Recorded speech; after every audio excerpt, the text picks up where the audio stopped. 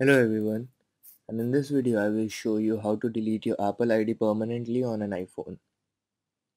So first open the Safari app and in the search bar uh, type privacy.apple.com. Here the webpage will ask you to sign in, so tap on continue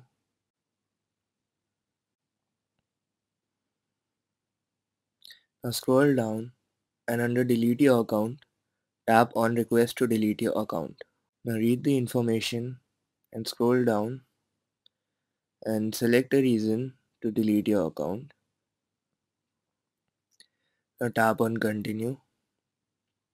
Read the information and scroll down and tap on continue.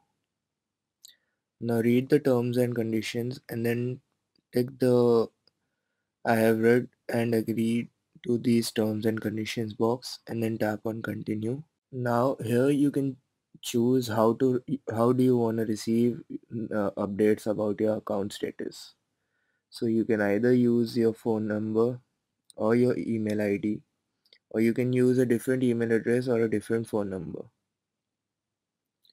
This contact information will only be used if Apple needs to send you important messages about your account. So tap on continue. And here you will see an access code. Take a screenshot of this access code or uh, note it down somewhere because this will be used in the next page. Once you have saved and noted down this access code, tap on continue. Now here enter the access code that you were shown in the previous page. Now tap on continue. Then tap on delete account. Once you tap on delete account, your uh, Apple will start the process to delete your account. So that is how you delete your Apple ID permanently on an iPhone. Thank you.